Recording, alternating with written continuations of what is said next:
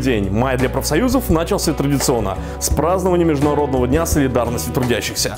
Профсоюзные первомайские митинги в Татарстане были самыми многочисленными из мероприятий, проводимых в этот день в республике. Под знамена 1 мая вышли 35 тысяч трудящихся, треть из них представители молодежи. Лозунги 1 мая диктовала сама жизнь.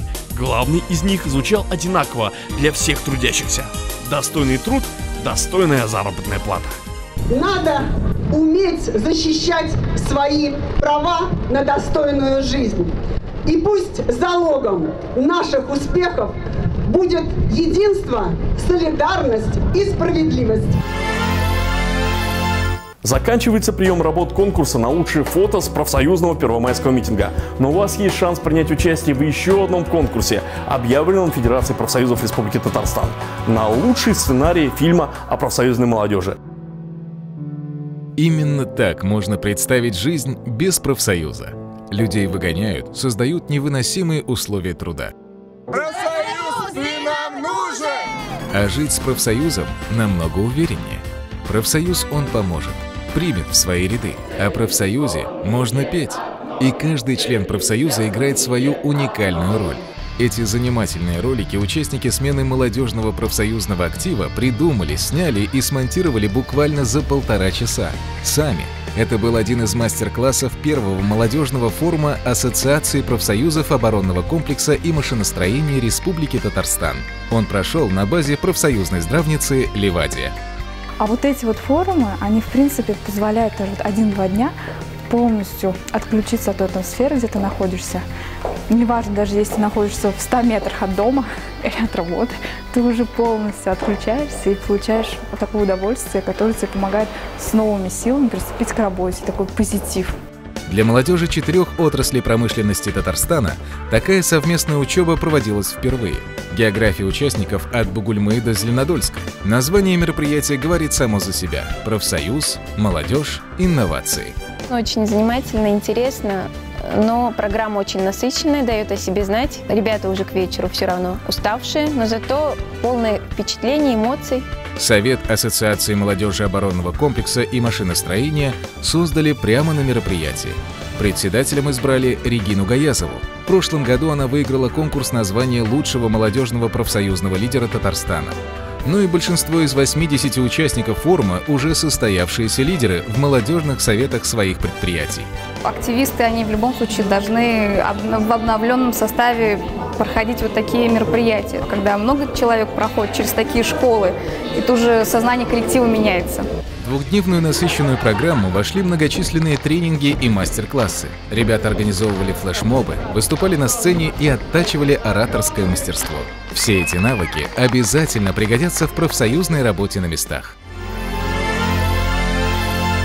Мы продолжаем наш рассказ о профсоюзной молодежи предприятия Татарстана. Наш следующий сюжет из нефтяной столицы республики, города Альметьевск. Десять лет назад, когда Рамиль только устраивался работать токарем на Альметьевский трубный, он и не представлял, что жизнь на предприятии может быть настолько интересной. Оказывается, кроме работы на заводе, есть еще и спорт, творчество и туризм, не говоря уже о карьерном и личностном росте. В случае Рамиля это все благодаря профсоюзу и молодежному совету завода, председателем которого он и является. Лично мне дал, наверное, опыт, опыт работы с людьми. Я простой токарь изначально, да, как бы это, а сама работа представителя молодежного совета, она такая вот руководящая, да. Молодежный совет в Альметьевском трубном заводе создали 4 года назад. Из 350 сотрудников возраста до 35 лет выбрали 9 активистов. Они успешно завлекают остальных на благодатную ниву спорта и творчества. И главное, помогают молодежи адаптироваться на заводе. В КВН, допустим, если выступаем на эстраде, себя, семья помогает, болеет, а в спортивных организациях нередко и семья участвует. Недаром в 2012 году молодежный совет Альметьевского трубного завода стал лучшим в республике среди промышленных предприятий.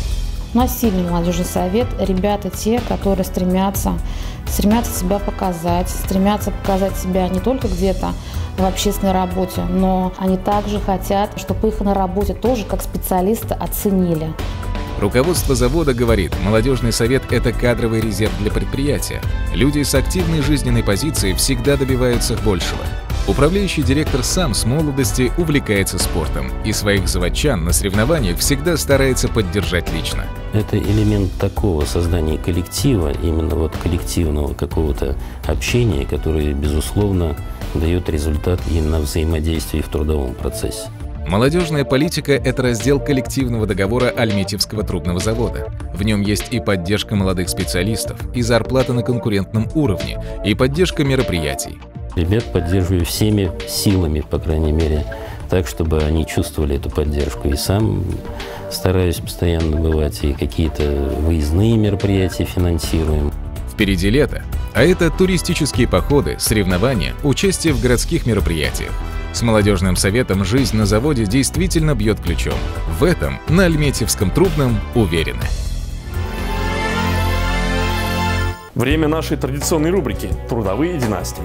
У нас семьи переплетены как судьбы, говорит Алсу Гайнуддинова, председатель правкома татарстанского предприятия «Челный бройлер». Почти половину из двухтысячного коллектива птицефабрики можно отнести к трудовым династиям. Даже если пройтись вот по нашему кабинету мысленно, я сразу понимаю, что в одном, в другом, в третьем кабинете подряд у нас будут уже семьи. Судьбами сплелись они по жизни и так дружно идут и в дальнейшем. И каждому из них мы рады. К примеру, кассир Филюса Шамсуддинова работает на птицефабрике 11 лет. Здесь трудится ее мама. Здесь же Филюса встретила свою судьбу – мужа Алмаза. Подошла ко мне девушка одна однажды и сказала, что вот у нас работает вот Алмаз, я хочу вот вас, чтобы как-то подходите друг к другу. Вскоре оказалось, что и свекровь Раиля Шамсуддинова, и родственники со стороны мужа также работают на птицефабрике.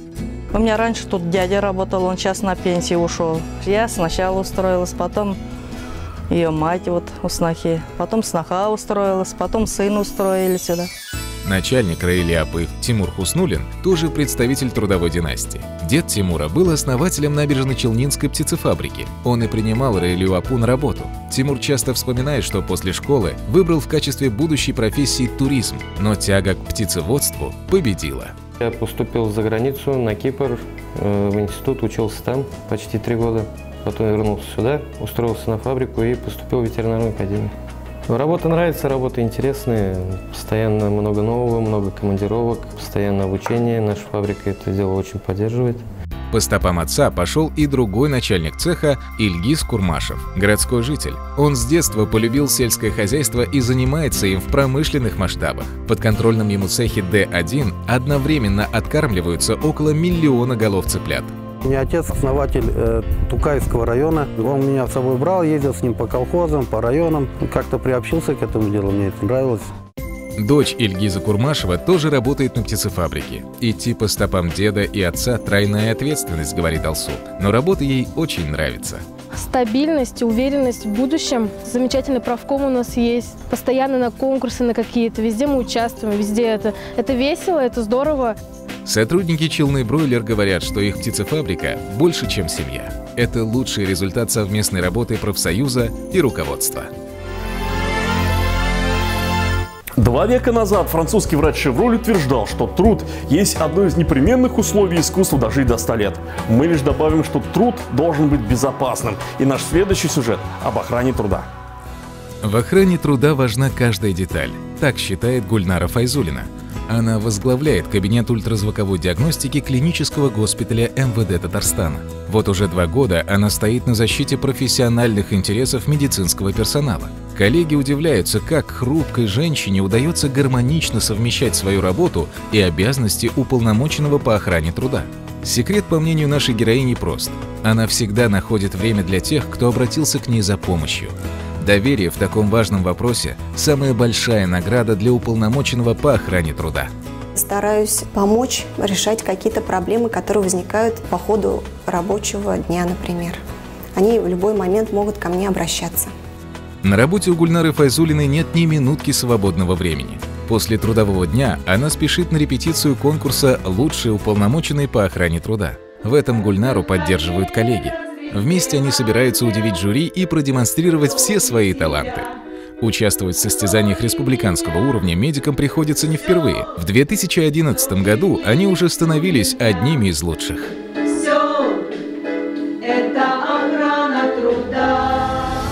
Охрана труда в медицинских учреждениях – вопрос, о котором врачам нужно помнить постоянно. Ведь от соблюдения правил безопасного труда напрямую зависит здоровье тех, кто сам заботится о своих пациентах. На каждого врача разработана инструкция по технике безопасности. Рабочее место медиков должно полностью соответствовать санитарно-техническим и гигиеническим требованиям. Мелочей в этой сфере не бывает. От медицинских инструментов до применения приборов для обеззараживания воздушной среды. Все должно быть в идеальном состоянии. Охрана труда направлена на профилактику профессиональных заболеваний и а, предотвращение этих заболеваний в нашем госпитале. К слову, в России во вредных и неблагоприятных условиях труда заняты сотни тысяч работников здравоохранения. Медики в процессе профессиональной деятельности подвергаются воздействию многих факторов, опасных для здоровья. В конечном итоге от охраны труда работников здравоохранения зависит эффективность их трудовой деятельности, от которой уже зависит здоровье всего населения. О том, как прошел финал четвертого смотра конкурса на звание «Лучший уполномоченный по охране труда Федерации профсоюзов Республики Татарстан», мы расскажем в нашей следующей программе. А на сегодня все. В жизни и на телеэкраны с вами профсоюзы. Союз сильных. Я рад, что вы знаете.